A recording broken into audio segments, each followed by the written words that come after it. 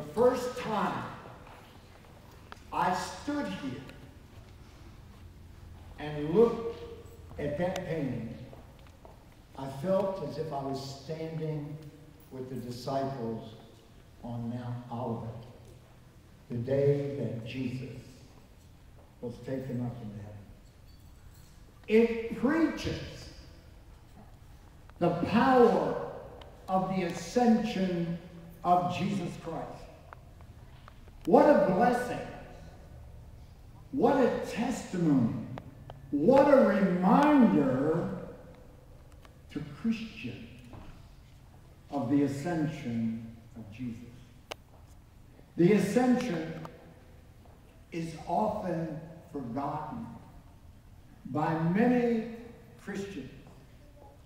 One theologian said the ascension of Jesus may well be the most neglected doctrine of the church, even though it's the most important thing in all of the New Testament.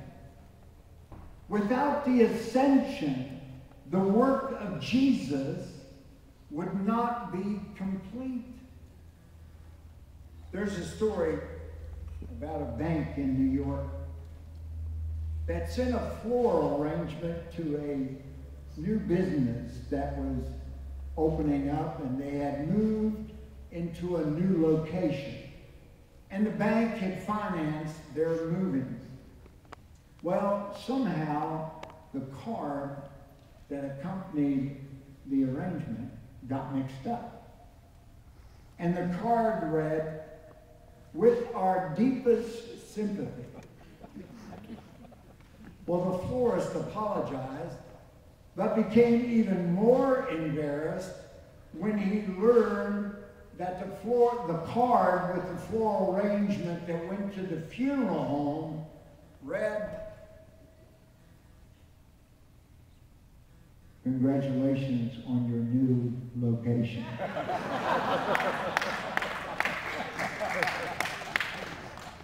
After the resurrection, Jesus moved into a new location. He went to glory. He went to be with the Father. So why is the ascension so important to us? It happened 2,000 years ago. Why is it so important to us? And if it's so important, why is it neglected? I think that the main reason is because people don't understand it. The people of God don't understand the ascension of our Lord Jesus Christ. In the ascension, Jesus is glorified. He is declared King of Kings and Lord of Lords. Very few of us can come to the end of a day and have the luxury of saying, you know, I've done everything that I was supposed to do. I did everything that I set out to accomplish.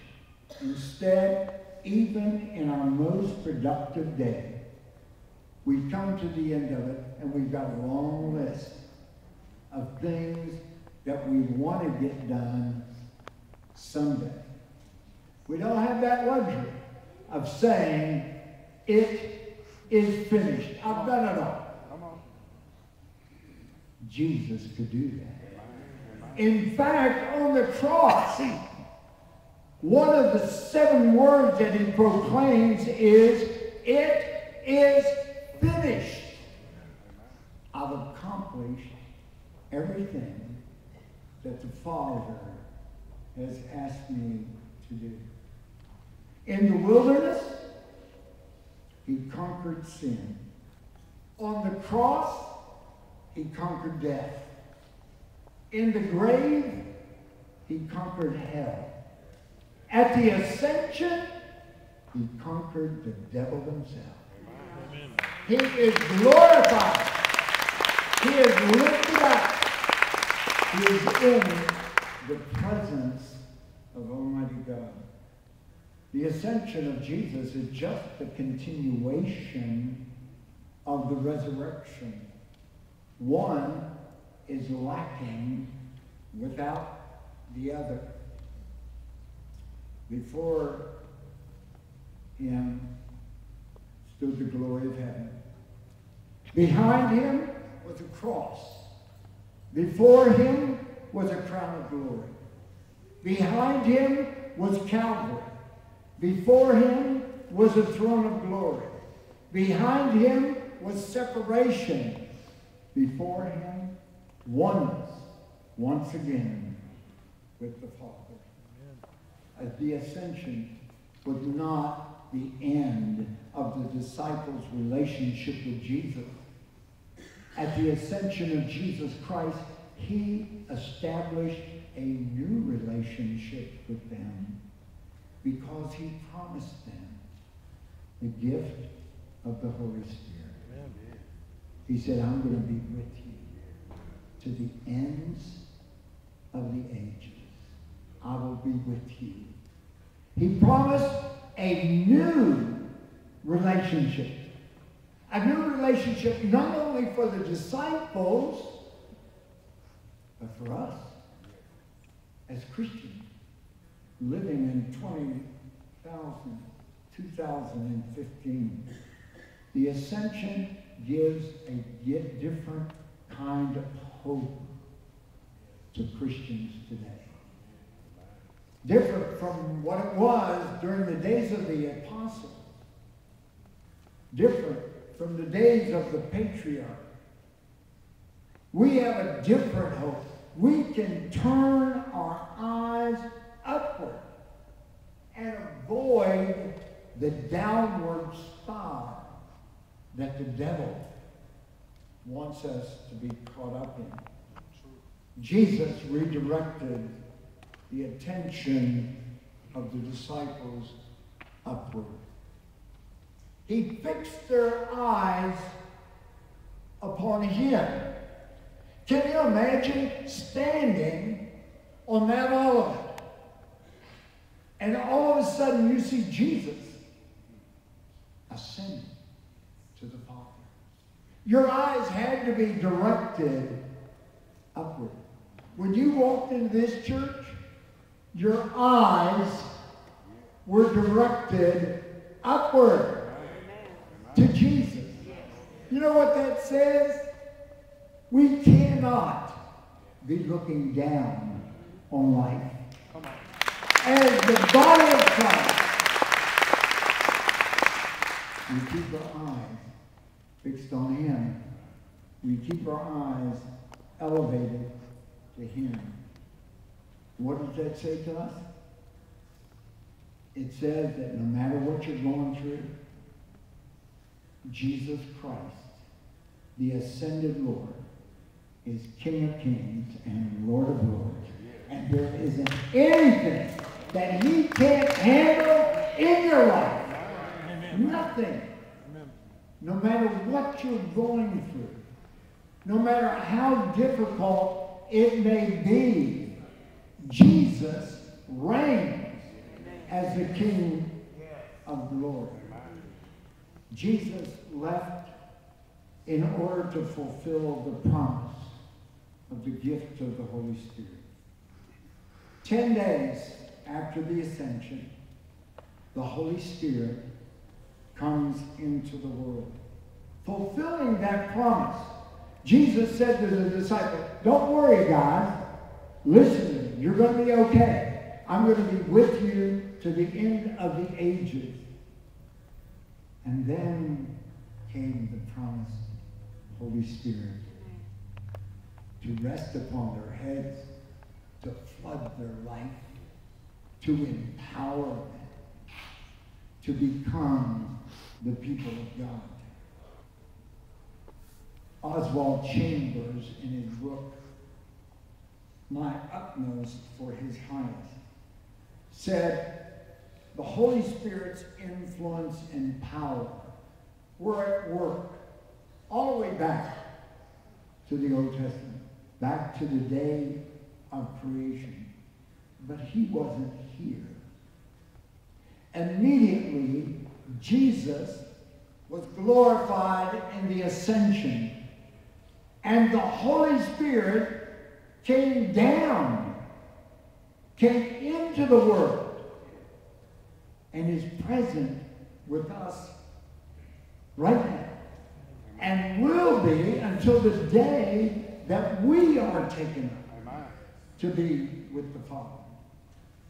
It's not the baptism of the Holy Ghost that changes people.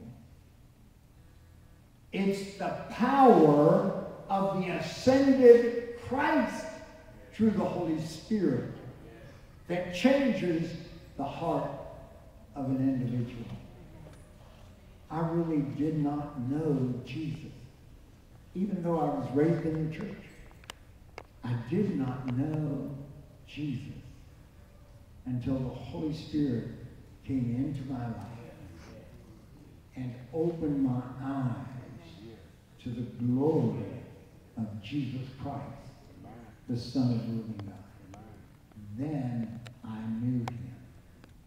I knew him as my Lord and my Savior. You know, so many people often try to divorce what the Bible never divorces. Come on. The baptism of the Holy Ghost is not an experience apart from Jesus. It's the evidence of the ascended Jesus.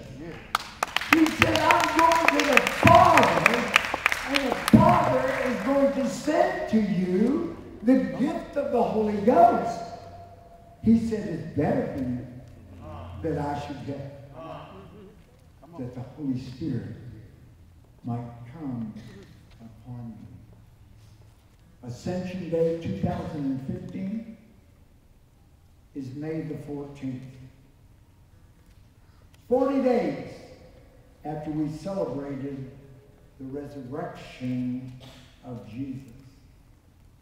Why did he remain 40 days on this earth? Between the resurrection and the ascension. The number 40 is very important in Scripture. It's recorded over 146 times. You know, when God tells us something once, we ought to listen. When he tells us twice, we ought to listen. When he tells you 146 times something, it ought to sink in somehow. It's important. It rained 40 days and 40 nights during the days of Noah. 40 years Israel wandered in the wilderness. Moses spent 40 years in Egypt, 40 years in the desert, 40 days on Mount Sinai. Jesus was tempted 40 days in the wilderness. And now he spends 40 days with the disciples after the resurrection. During those 40 days, Jesus appeared to them time and time and time again. He wanted them to know, I'm with you. Do you understand that? He said, guys, bring me some of that fish. I want to eat. I'm hungry. And he ate with them. So Thomas, Thomas, come here. Put your hands here. Touch me. I'm here. He wanted to show them that he was present with them. And he came re-emphasizing all of the things that he had taught them. He had taught them for three years. He comes to the ascension and he says, let me re-emphasize everything that I have told you. All of a sudden, it dawned on me. All of a sudden, they begin to understand what Jesus was talking about. They begin to understand that death wasn't the end, but just the beginning. Can you imagine what it was like when Jesus entered into heaven? Like that. That's what it was like. The glory of heaven. I posted that picture on my website on, on Facebook. And I said, I'm, I'm honored to be preaching at the dedication of this beautiful year. I posted it on the website and somebody wrote underneath, wow, it looks like the gates of heaven. That's how heaven prepared. That's how heaven got ready to receive Jesus into his presence. I believe that man over there is anointed by God. I believe that his hands, his hands were directed by God. I believe every stroke of the brush was appointed by God. You can't just come up with something like that. That's the anointing of God. That's telling us that God is still present in the life of the people of God. And He's using Pastor Hightower had to submit to God's leading in order to accomplish what God wanted to do with him. In the Gospel of St. John, chapter 17, verses 4 and 5, Jesus was praying. This was his high priestly prayer. And he said, I glorified you on earth, having accomplished the work which you had given me to do. And now glorify me together with yourself, Father, with the glory which I had with you before the world was. When Jesus was born, he was born in human flesh. And at that time, he laid aside his glory, took on our likeness, came down here just like us, that we might identify with him and that he might identify with us. He laid aside his glory at the ascension. He received his glory once again. Amen. The glory that was his before the foundation of the world. It is given back to Jesus. David in Psalm 24, verse 7 through 10, gives us an idea of how heaven prepared for the coming of Jesus. He wrote, Lift up your head, O ye gates, and be lifted up, O ancient doors, for the King of glory may come in. Who is the King of glory? The Lord strong and mighty. The Lord mighty in battle.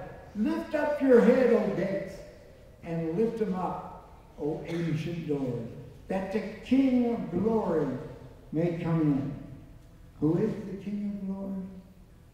The Lord of hosts. He is the King of glory. That's Jesus.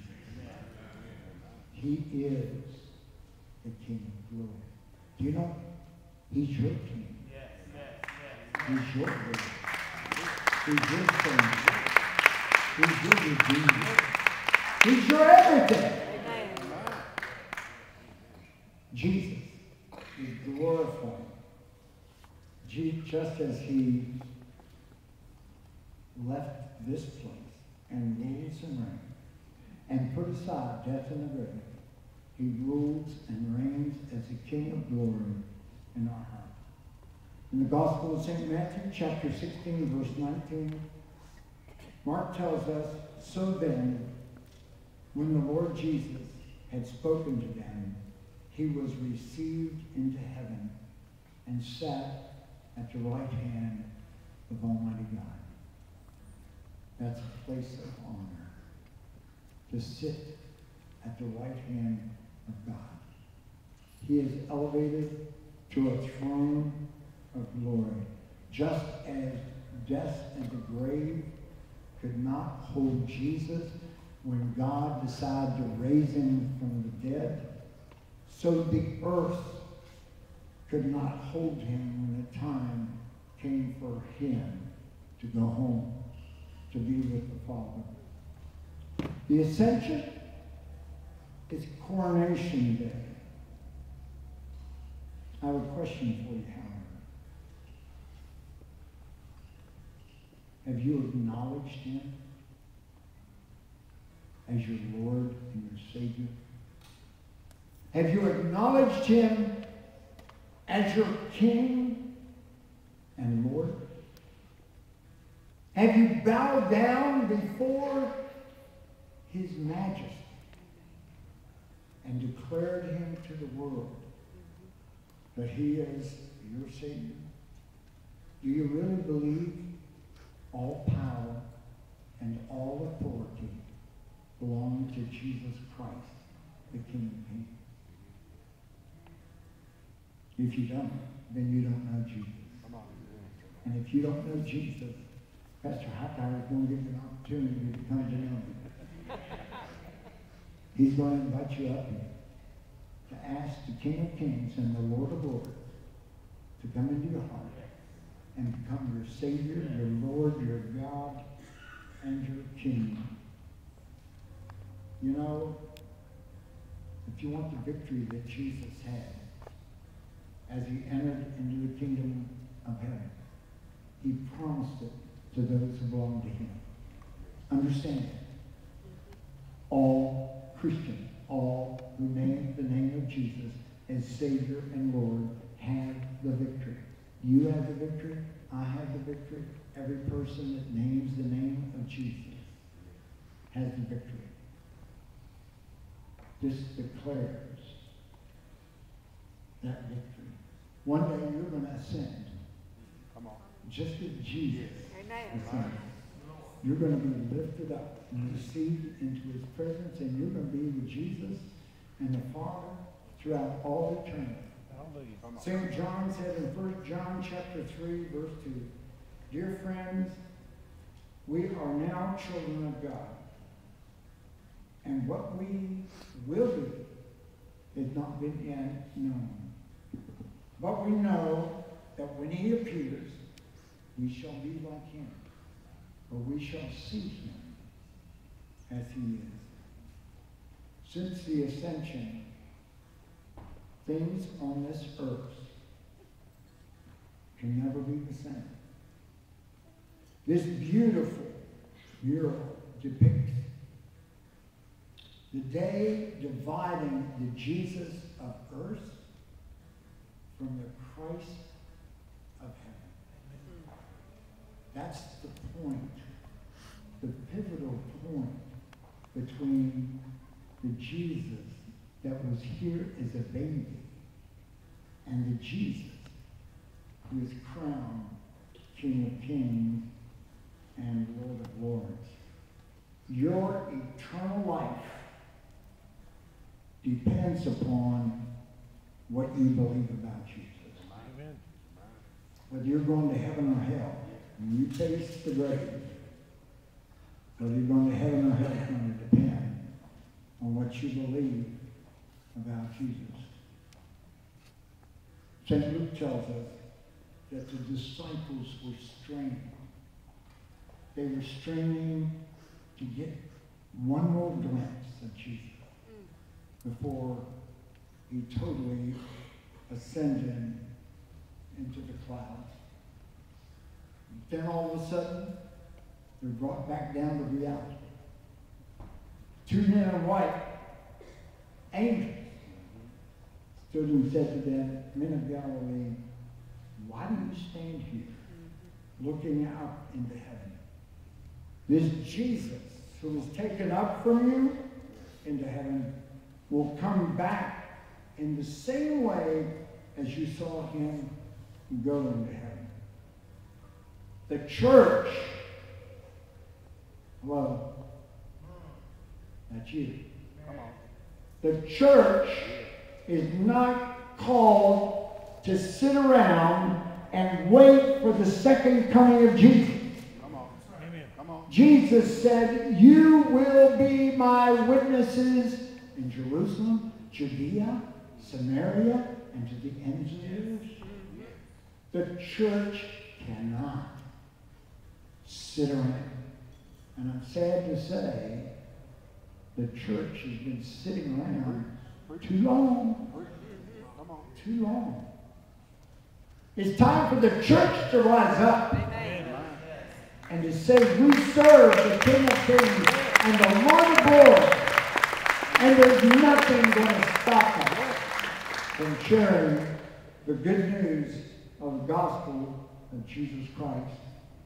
Every time you come in or leave this church, look up at this magnificent painting, this icon of the ascension, and ask yourself, am I redeeming my time until Jesus comes from on high to receive me?